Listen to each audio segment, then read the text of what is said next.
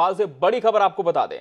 भोपाल से इस वक्त की बड़ी खबर है जहाँ बीजेपी नेता प्रीतम लोधी ने माफ़ी मांगी है। वीडी शर्मा के घर पहुंचकर माफ़ी मांगी है। बड़ी खबर भोपाल से आपको बता दें, बीजेपी नेता प्रीतम लोधी ने अपने बयान पर माफ़ी मांग ली है। बीजेपी के प्रदेश अध्यक्ष वीडी शर्मा के घर पहुँचे प्रीतम लोधी और उनसे माफ़ी मांगी ये वीडियो तब का है, जब शिवपुरी में एक आयोजन के दौरान एक सभा को संबोधित कर रहे थे बीजेपी नेता प्रीतम लोधी और इस वक्त उन्होंने ब्राह्मणों के बारे में एक टिप्पणी कर दी थी।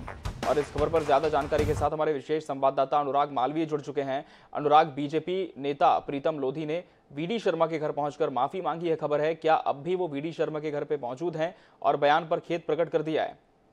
टुकड़ों में जोड़कर दिखाई है कांग्रेस ने आ, यह मैं स्वीकार करता हूँ किंतु मैंने जो बातें बोली हैं अगर मैंने बोली है अगर कोई गलत चीज़ निकल गई है तो मैं स्वीकार करता हूँ। उमा भारती जी से भी आपकी बात हुई है। जी मेरी माँ जो भारती भारती है उमा भारती ने मुझे समझा के भेजा है जाइए और ब्राह्मण समाज सर्वोच्च समाज है। पूरे देश की और पूरे देश की क्या? हमारे देवता भी ब्राह्मण समाज को पूछते थे। तो आप लोगों को भी ब्राह्मण समाज से क्षमा यात्रा मांगनी है और ब्राह्मण समाज से माफ़ी स्पष्टीकरण में आपने क्या कहा क्या लिखा है जो वीडी शर्मा जी को दिया आपने?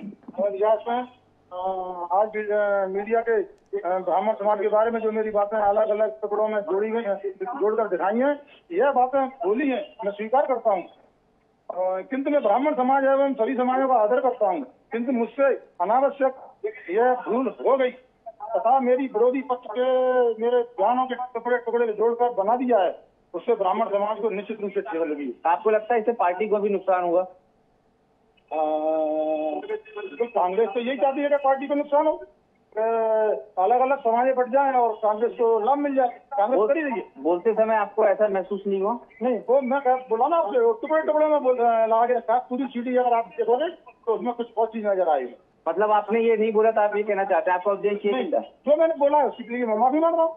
उसके लिए मैं क्षमा मांग रहा हूँ पूरे देश के ब्राह्मण समाज तो देश के ब्राह्मण समाज से क्षमा मांगते हुए प्रीतम लोधी नज़र आए हैं। यहाँ पर तलब किया गया था भाजपा प्रदेश अध्यक्ष वी डी शर्मा के द्वारा और उनके तलब करने के बाद में ये स्वरूप एकदम बदल गए हैं और कहीं ना कहीं सख्त जिस तरह से खुद भी भाजपा प्रदेश अध्यक्ष ने कहा था कि वो सख्ती दिखाएँगे और उस सख्ती का असर अब साफ़ तौर पर ज़ुबान पे नज़र आने लगा है प्रीतम लोधी की। जी।